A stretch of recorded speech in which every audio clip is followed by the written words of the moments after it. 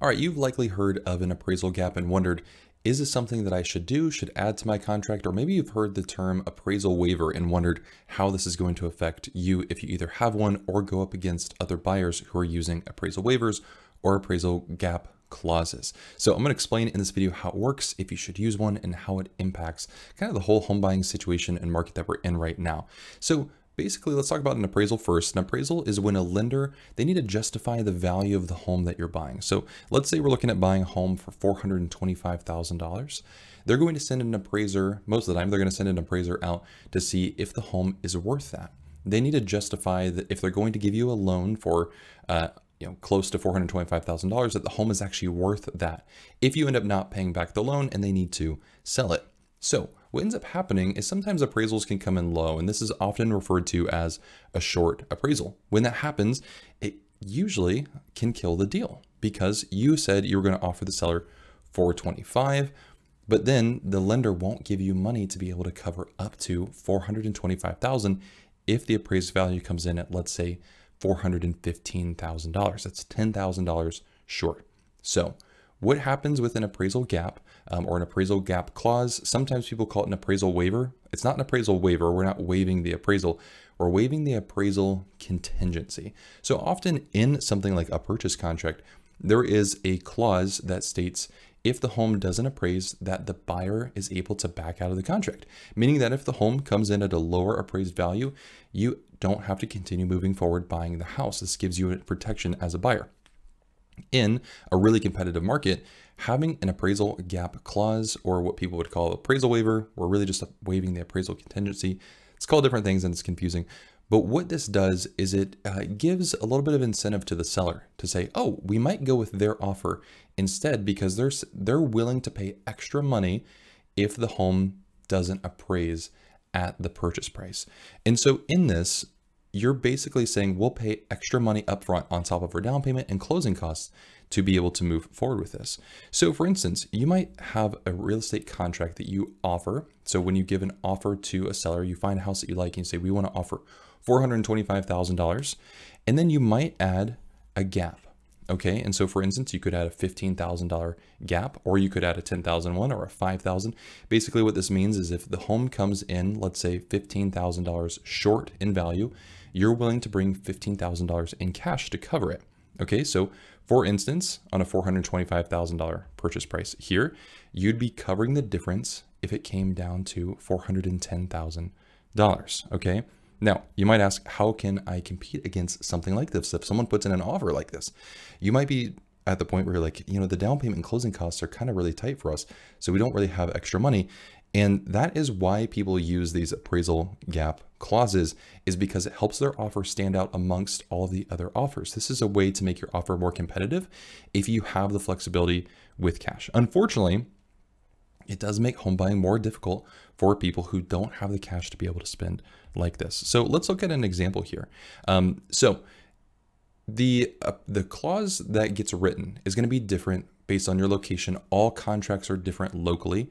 Okay, but this is just an example of what this could look like. It might be included in your contract, or it may need to be a separate addendum uh, with the contract. So it might say if the property does not appraise for the purchase price, the buyer agrees to pay up to $20,000 above the appraised value, not to exceed the purchase price. So something that simple that basically says if the home value comes in $20,000 lower at the appraisal, you as the buyer are willing to pay $20,000 at the closing table to make up the difference. Okay. So Let's talk about really quickly the solutions to a short appraisal because it's not just the appraisal gap that can help you with a short appraisal. And short appraisals, unfortunately, are getting more and more common as home values are, well, as people are offering more for homes and home values do increase. People are offering a lot more, some and a lot of times than a home is worth in its appraised value. Okay. And they're putting in these appraisal gaps. So they might get a short appraisal coming in. Here's some solutions to fix this. Number one is we can ask the appraiser to reconsider the value with new comparable homes. When you get an appraisal, the appraiser is often looking at three homes uh, that have recently sold within the past six months in a half mile radius. That is uh, usually what they're looking at your realtors, uh, either the buyer, your agent, or the seller's agent, could submit new comparables for the appraiser to use. I haven't seen this be super successful as a strategy. Another option is you could get a new appraisal. This only works on a conventional loan, uh, but you could actually switch lenders and get a new appraisal with that lender, and you're kind of hoping that the value comes in. It could come in lower, so just keep that in mind. Option three is the seller reduces the price. So, you know, back to our original example, if you offered 425 and it came in at 415, the seller could drop the price to 415. Odds are they probably don't want to do that. The fourth option is you pay the difference. You bring cash to the closing table to pay the difference here. And this is what an appraisal gap clause is, okay? It's basically building in this four, number four solution into the contract before the appraisal happens. All these other solutions happen if the appraisal comes in short. Option number four is what people use. They, they kind of bake it into the contract to make their offer stick out. Number five is uh, basically splitting the difference. Some people do this 50-50, you might do 60-40, 80-20, whatever. The seller might come down a little bit and you as the buyer might bring extra money to the table. One quick note here is you actually can use your down payment to help cover a short appraisal. So if you have a down payment that's higher than the minimum down payment, for instance, on a conventional loan, the minimum is 3% down. If you're putting 10% down, well, you have 7% of wiggle room there where you can actually bring your down payment down to the minimum and use that extra percentage to cover the short appraisal. That sometimes can work. Sometimes you can also um, remove seller credits to help cover that difference as well. So several different options. You can talk with your loan officer uh, to explore these options too. And if you're looking for a helpful loan officer, I can give you an introduction. I have a link down in the description if you are interested in that. So next question is, will lenders allow this? Because I, I know this can be kind of confusing where it's like, why can't the lender just give me the money that I need? Um, lenders are going to look at the lesser of the purchase price or the appraised value. They're going to look at the two and see which one is the lower one, and they're going to use that as the actual value of the home. And keep in mind, the reason why they're doing this is if you, you know, the lenders are looking at risk. So if in the future you don't pay on the loan anymore and they need to foreclose and sell the home, they want to make sure it's actually worth enough to cover the loan that they gave you. If they gave you a loan for up to 425,000 but it's only worth 415, then they took a loss on uh, on that there. So they don't really want that to happen. Um, so they're going to look at the lower of these two. So in this instance, they're going to look at the 415 if it, the appraised value is lower than the purchase price. So then your down payment is going to be based on the lower value. So if you were initially putting 5% down, and initially you were going to be putting 5% down on the purchase price, well, the appraised value came in lower. So 5% down is actually going to be based on the appraised value. So on a $415,000 appraised value, the down payment is $20,750. Okay, so that sounds great. Well, our down payment went down. That's that's awesome. But we still have to make up this difference because we're under contract to purchase for 425, but the appraised value is only 415. So the lender's loan plus our down payment equals 415. We can give that to the seller. But the seller still needs the 425. And that's where we go back to, you know, these solutions that can help us resolve these here. With the appraisal gap, it builds in this number 4 option to say we're actually going to cover that gap up to a certain amount if it comes in short.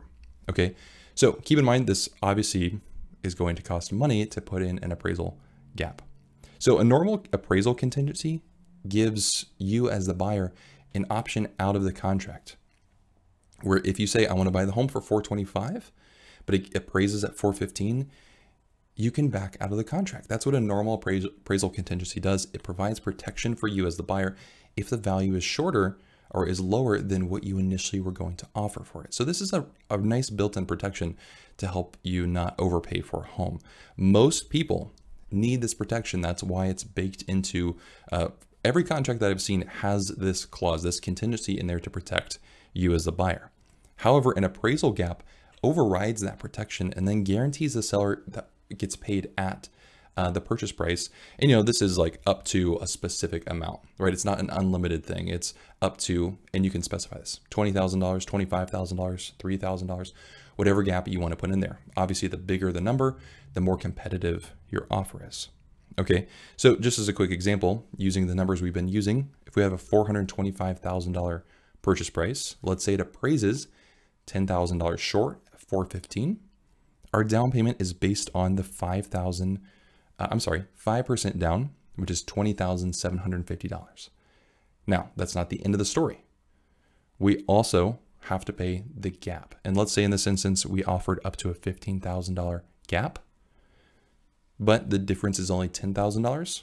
We're just going to have to bring the $10,000 to closing. So at the closing table, you're going to be paying the down payment, 20,750, any closing costs that you have as well, and the appraisal gap difference. That is only if you have that appraisal gap clause in your initial contract. So just be extremely careful that if you do decide to go forward with this, you have the money to be able to do this, you have the flexibility to be able to do this, and you're comfortable spending that money if you need to. Okay. So here's how to add this gap to your offer. You want to set aside these funds before. Please do this before uh, you make your offer and be really comfortable with this decision, knowing that if you offer a gap for $15,000, you could have to pay an extra $15,000 at closing. Okay. Um, my friend Javier Vidana, uh, who has a YouTube channel, uh, which is fantastic, and you should go watch it and check it out. Uh, he calls this clutch funds, and I just think it's a really great word for it. Um, clutch funds are kind of these how these uh, these funds that you have uh, that help sweeten your offer a little bit to make it more appealing to a seller to choose your offer over other offers. And your agent can help you uh, explore what what amount you need here in the gap. And if you're looking for a helpful agent, I can also make an introduction to an agent. Link is in the description uh, if you'd like that. Now, keep in mind, again, you have the down payment, you have closing costs. If you're offering a gap, make sure you're budgeting that too. But then don't forget things like your move-in expenses and uh, everything that's going to happen between now and you moving into a home. Make sure that you're extremely comfortable with this here because the appraisal gap clause or this appraisal waiver, as people tend to call it, uh, is not for everyone. And a quick side note, there are appraisal waivers where an appraisal actually doesn't have to happen on a home based on uh, what the underwriting software says.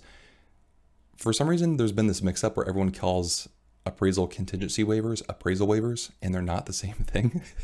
so just keep that in mind when people are saying appraisal waivers. An appraisal is likely still getting done. They're just waiving the contingency, usually up to a specified amount. Okay. To add this to your offer, you're going to include the appraisal gap language in your purchase offer. Again, this may be included in your contract. There may be a line in there for that. Often it's usually an addendum that your real estate agent is going to have to write and submit with your offer. So talk to your agent and please, please make sure you're certain about doing this. This is a really great strategy if you have the cash to be able to do this. Most people need the protection of the appraisal contingency. And at the same time, that appraisal contingency protection can make your offer less attractive in a multiple offer situation where the home that you're looking at is getting multiple offers on it. Okay, just please be careful. Talk with your agent, really work these numbers and say, if we had to go, you know, think plan worst case scenario. If we have to use all of that money, uh, make sure that you're comfortable with it. So are they a good idea? Well, number one, obviously they can help you win a bidding war. If you're looking at a home and it's getting 10 offers on it, if the seller looks at your offer and they see, oh, great, if it comes, if the appraisal comes in short, they're willing to pay an extra $10,000 to make sure that we have that protection. You're basically adding a protection for the seller to make your offer more attractive. That obviously is going to help you win bidding wars. Um, protects you is a built-in protection right away from a short appraisal. What often happens if you don't have an appraisal gap is if a short appraisal comes in, it then is kind of a, your offer is up in the air. Not only can you back out, but th the solution on what to do next is kind of up in the air and has to be dealt with. So it, it adds an, an extra layer of protection in the beginning. Um, Obviously, the big downside is you have to come up with extra cash. You have to have the extra cash to be able to afford doing this. And in a way, you're taking a risk on we might not have to use it at all. We might have to use some of it, or we might have to use all of it. And the big risk here is uh, this risk of being underwater in your mortgage. And, and under being underwater is um, is basically when the value of your home is less than what you paid for it. Okay, so I made this quick little illustration here to show uh, right here, this is what you, the purchase price that you would have paid. And this theoretically is the value. The value could go up. But when we're planning long term, it's always helpful to look at both solutions. Planning for things to go up is always great because the numbers usually always work in our favor. But if we plan for things to go down and we're comfortable with what that looks like, or we're, we're mindful of what uh, the negative options look like, it's a much better way to plan things in the future. So if that's the case, if you made this little gap payment here, keep in mind the value of your home, oops, that's an eraser. The value of your home could trend downwards and that could bring you into more of a gap here. Now, what does that ultimately mean? Ultimately means it's going to be more difficult to sell your home in the future. If you sell your home in the future, you might need to bring money to close or you might get less money than you expected in the beginning. So that is a, a possibility that you want to be mindful of. Not a guarantee that the value is going to go down. There are plenty of people, uh, especially in the past couple years, who have put appraisal gaps or they have paid over what a home is theoretically worth to an appraisal and they have ended up making tens of thousands of dollars in equity and appreciation on their home. Just be mindful of what could happen. Um, okay, so some quick scenarios here. Let's say we had a purchase price of 425 and we have a $5,000 appraisal gap. So I want to run through a couple different scenarios with appraisals to show you how this works. Let's say that the appraisal comes in higher than the purchase price and it comes in at $430,000. This is the ideal situation. Uh, theoretically, you got a $5,000 discount for the home. The appraisal is saying the home is worth 430 and you bought it for 425. You got a nice discount. You never had to bring any more extra money to the closing table. If it comes in at the contract price, this is great too. Nothing happens. That gap of money is not being used at all. And a quick aside too, like when you offer, uh, put in an offer with an appraisal gap clause, you don't submit the money anywhere. That is just saying if appraisal comes in short, I'll bring extra money to the closing table. That money doesn't have to be held by anyone uh, or anything like that. Now, let's talk about these scenarios if the appraisal comes in short. Let's say it comes in at $422,500. If that's the case, then we have to use $2,500 of it. See how we're saying up to $5,000. Okay, if it comes in at 420, we have to use the full thing. We have to use the full $5,000. So basically we're using the lender's loan plus our down payment plus the 5,000, taking all that, and that's what we give to the seller. And when I say we, I mean the title company is going to do that for you, but this is kind of more theoretical here. If it comes in at 410, let's say it comes super low and it's beyond what you said you would cover in your appraisal gap, then this is that that that contingency kicks in where you actually have that protection again. You said you'd only cover up to 5,000, but it came in a lot shorter than that. And if that's the case, you have the option to back out of the deal or circle back to the options to fix a low appraisal. Maybe we look at submitting new comparables, maybe we look at getting a new appraisal, or we look at the other options we can use to solve the short appraisal here. Now, if you want to dig more into how to fix a short appraisal to be uh, mindful of what you could run into and what you need to do in the future, look at this video uh, right over here.